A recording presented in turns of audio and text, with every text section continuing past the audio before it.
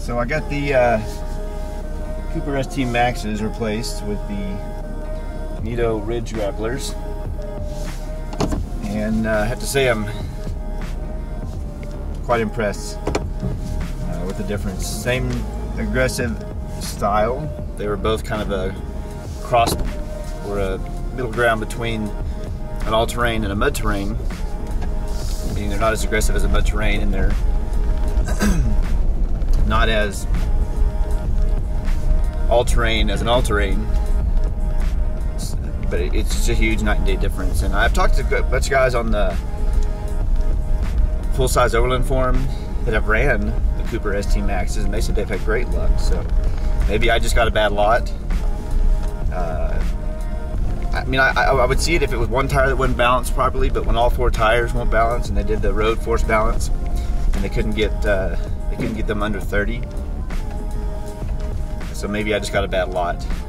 Uh, I, you know, I don't know, but um, I was talking to one guy and he was saying that basically their entire fleet of vehicles were running the uh, ST Maxes and they would drive, you know, intra or interstate, not intrastate, but interstate. And uh, they had great success and then they had tried the Nittos and the Nittos was, for them, for their application was horrible because the life was just horrible. So um, I don't know. We'll see. I, putting these Nittos on, it's a smoother ride. It's even quieter, which the ST Maxes were not loud. Uh, but you could hear them a little bit. I mean, you could hear just a hair bit of rah, rah, rah. I will say that the ST Maxes are a little more aggressive uh, in their overall tread pattern than these uh, trail grapplers are. The trail, the ST Maxes lean more towards a MT, and the Ridge grapplers lean more toward a AT. Um, you know, and so I mean, the difference is maybe uh, minuscule, but there is a slight difference there. So I, I do, I, I, will say that I did test out the ST Maxes, and on the off-road application, they worked really well. Uh, it's just once you get on the highway, and that's my problem is I spend, you know, the majority of my time, you know I drive about 80 miles a day between I-26 and I-40 on the interstate going to school every day. And then I only overland, I'm a weekend overlander. And so I have to look at that from that perspective, saying that the majority of my driving is on the road, especially on, you know, not just on the road, but on the interstate. So I'm at, you know, high sustained speeds between 60 and 70 miles an hour versus off the road. Now, if you're driving around in town, you know, two or three miles, a day. Uh, and then you were going, you know, or you lived out, you know, on a farm, and so you were constantly in the fields or something like that, then EST Maxes probably wouldn't be an issue because if I had not had to drive every single day on the highway at 65, 70 miles an hour, I don't think the ST Maxes would have been an issue for me. It's not until you get to that between 60 and 70 mile an hour range that you really started to feel the difference and kind of felt kind of a bounce. I will also say that the ST Maxes at those speeds are a little uh, a little loose compared to these uh, Nittos, and so. Uh, but I've only had a couple of uh, well, I've only had one day with the Nittos, so I mean, it's you know, I really can't make a complete fair assessment right off the bat. So uh, we'll definitely see. So they got the leveling kit done, and uh, it's turned out great. The one thing I did notice when I put the leveling kit on, and I think that if I do, when I do go to coil springs versus coil spacers, um, the they moved up about two and a half inches. Sorry, I was trying to figure out what this confer moves to. And uh, the base of the coil stayed the same, but you took that center of gravity of that engine, that diesel engine, which is pretty heavy, and you moved it up.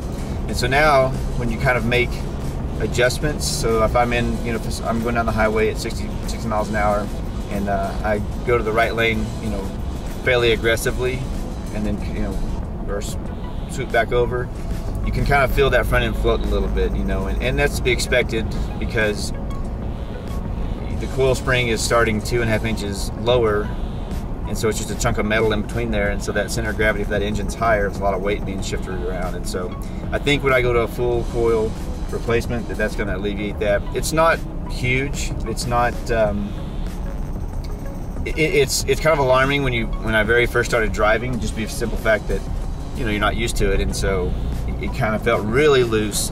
But then once you kind of get used to it and adjust to it, you realize you know it's not you are not going to lose control of the vehicle. But that's kind of the initial feeling it it gave you, you know, because when you would kind of go right and the whole it felt like the whole truck was kind of just doing this, you know, but not just just in one just just did it one time. And so once you kind of get used to that, you realize that you know it's not that bad. But I think that the coil spring replacements will uh, will alleviate that altogether because then you have the coil running all the way the, the entire length. and so when your vehicle when you're turning and your vehicle shifts to one side, that coil is not reacting at that two and a half inch lower. It's actually reacting right there on the spot. And so, in theory, my hypothesis is I won't be as loose in the front end when I go to a full full replacement. So, uh, additionally, I'm also thinking about instead of going with the Leitner designs, the deck system, and the CVT tent, uh, I'm starting to look into the ARE uh, truck cap series, the MX to be specific, uh, with a truck vault. Uh, just because for the money you spend on the entire system, you still have to, if it's raining, you still have to get out uh, on, on, the, on the, the truck tent, the CVT tent. You still have to get out in the middle of the rain, you have to unfold it, you have to get the little stakes out, you have to prop everything up, and so if you look at the room, the amount of room in the truck tent versus the amount of room with the truck cap, you get more room in a truck cap. You don't have to climb up a ladder to get in the truck cap. And you can get one that has, that uh, you take your tailgate off and it has a, a, a, kind of a hatchback to where it comes all the way down to where your tailgate would be and then has a door in the back. And so you don't even have to, so if it is raining, you just pop the entire hatch up and you've got an instant awning um, or if you need to hop out real quick in the middle of the night, use the bathroom or something, it's got a door on it, so you don't have to hop the whole pat or pop the whole hatch. You just open that door, hop out, do your business, and get back in. So, uh, really looking at that just for ease of use. It's also multi-use. You know, you can use it to haul anything in that you want to get wet. You can keep you know tools in the back of your truck at all times. You know, it's a secure option for the bed of your truck, but still that MX series is raised four inches from the uh, standard truck cap, and so you uh, you really don't lose storage capacity of your bed. And they also make a motorized system that actually raises the bed up on all four corners, and you can put a tent in there, so you can almost you can stand up in the back of your truck uh, with that. Or if you just want to remove it all together, you uh, raise it with that system, and then you can they make a system where you can hook on like to the top of your garage, and you can just uh, quickly unhook and then drive off. You know, I won't be doing that because I really can't fit my truck in my garage. Not because it won't fit, but just because my garage is I've turned it into a little shop, and so it's not really feasible to drive into it. But so that's kind of what I'm looking at. Um, I, I, don't have a whole lot of experience with uh, truck caps. I never really had a truck cap before, you know they're they're not cheap, but they're not expensive when you compare it to you know I, for the deck system. I was going to spend thirteen hundred dollars for the Leitner Designs um, cargo active cargo system. I was going to spend sixteen hundred dollars for the tent. Uh, the four-person CVT variant, it's 20, 22, 2300 dollars. And so when you start adding all that up, you know, that's that's a substantial amount of money when I could just but they're all individual components that require their own maintenance, that require their own individual setup to whatever degree. Whereas if I went with the ARE MX with uh, a cargo rack on top of the MX and with their truck vault system, which is basically the same thing as a deck system, um, I'm, I'm just, it's all in one package and it's comparably priced. Um, I don't know the exact price yet, just for the simple fact that I haven't gotten the quote back. I built my own truck cap on ARE's site, and I hate how they don't tell you how much it costs, and you have to send it off to a dealer, a local dealer, and then they have to give you a quote. And the local dealer puts their price, their markup on it, and they put their install on it, and so you know, when the whole system may have been, you know, three thousand dollars, you wind up spending five thousand, which that's what I'm anticipating, about five thousand dollars. And then the other option I was looking at was, I don't remember the name of it off the top of my head, uh, but I'll throw it, uh, I'll throw it up on the screen here. Is a system that it's an aluminum truck cab, and it's got a built-in rooftop tent into the truck cab itself, and so it just opens up. and it's a company out of Arizona. Uh, again, I'll throw up the, uh, the website, you know, on, on the screen here, but it's a really neat system and you can have it custom built and you can have it pretty much made how you want. So you can sleep in the bottom in the truck cap or you can use the truck cap to haul cargo and you can kind of have whatever length you want on the truck cap as far as it's, it's how tall it is. And then the, the, just the top of the truck cap just opens up and turns into a, rooftop tent. And uh, Overland Expedition I think that's the name of their their group. Uh, that's what they use but base price starts at $8,600. And so whenever it's something like that says base price starts at $8,600, um, pretty much once you configure it the way you want to, you're looking at ten to $12,000. And again, do I, I mean, if, if, a truck cap will sleep four easy, um, when it, you know, I only have a six and a half foot bed, but when you got that truck vault in it, it makes the entire bed flat, so you don't have to deal with the humps, and so you can put a queen size mattress back there and normally I'm only going to be sleeping two, just me and my daughter, because my uh, my wife and my other daughter aren't as enthusiastic about you know going out as I am, and my youngest daughter is.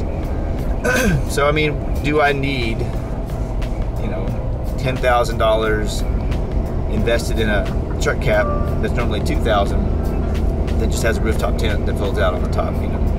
And I think the answer to that question is no, I don't. It, is it, does it have a, a, cool guy factor to it? Yes. I mean, it's, it's, it's really awesome. I mean, I would love to have it. I just don't think that it's worth the investment for me personally. It's just not something that I think is going to benefit me. If I want it, and the other thing to that is to sleep four in that, only two get to, can sleep up top. And the other two have to, you have to turn the bottom into a, a bed system where they sleep at the bottom but really their system is designed for one or two people and it's designed to have a kitchen and an office and a whole bunch of other stuff. It's kind of, you know, it's a very good use of space, but that's just not what I need. Uh, you know, I'm not looking for a, a, mobile office. You know, I'm not looking to spend, you know, year at a time out of my vehicle. But with the truck cab, I, you know, that I'm, I'm looking at the ARE MX, you know, I could do that. Um, and I also have the benefit of having a mega cab, so I have a lot more space in the cab itself. So um, if I fold my back seats down, I mean, I can fit a cement size mattress back there. So, you know, I, I, have versatility in my truck, you know, and so a lot of the guys that were running that stuff were running, you know, Toyota Tacomas. Uh, so, you know, mid-sized vehicles, and so that's why they had to have kind of that setup. So anyway, that's kind of my, um, where I stand right now in terms of what I'm going to do on the on the build. I do want to kind of have everything finalized in the next 45 days or so. I'm just kind of weighing my pros and cons because I want to make one decision that you know I'm going to be ultimately happy with. It's going to have dual utility. It's not just going to be an overlanding vehicle. It's not you know just going to be a vehicle that I can haul stuff in. It's going to be you know both of those, and that's what I need. I need utility in my vehicle for both daily use and for going out you know in kind of a weekend overland capacity. So they got the uh, the lift done or the leveling kit done.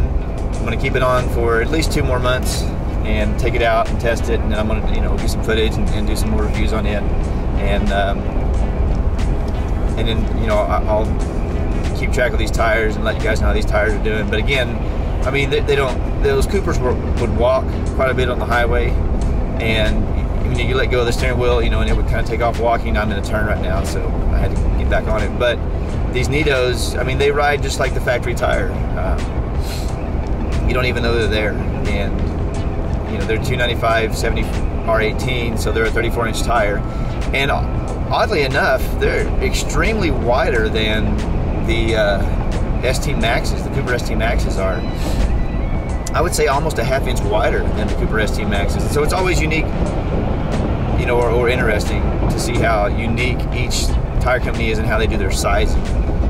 Uh, and so I just think that the only concern I have for these Nittos is going to be the life of the of the tire. Um, you know, but I've seen mixed reports, and also it's what you use it and how you drive. You know, you drive like an asshole, you're going to eat up your tires. You know, you drive like a grandpa, you know, you're, they're going to last you a lot longer. And so I'm probably in between that. I probably don't drive like a grandpa, um, but I probably do sometimes, and I probably don't drive like an asshole all the time. But I would say I do kind of drive like an asshole more often than I do a grandpa. So, you know, it's that fine balance. So anyway, we're gonna do one. We're either gonna do the Leitner design system in the tents or the MX series in the next 30 days. And uh, you know, once I make a decision, probably once I make the order and everything, I'll, I'll do an update video. And I'll see you in the next video.